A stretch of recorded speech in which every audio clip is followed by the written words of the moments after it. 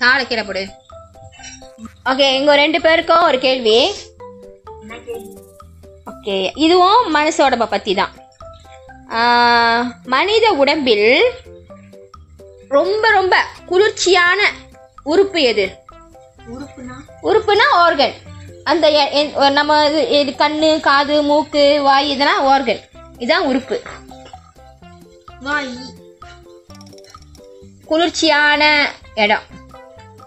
கண்ணு. இல்லை. ரொம்ப குளிரான இடம். ஆ குளிர்ச்சியாகவே இருக்கும் அந்த இடம்.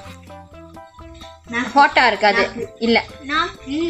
ஏன் நாக்குன்றீங்க நாக்கு எச்சி விடுது ஆ ஆமால.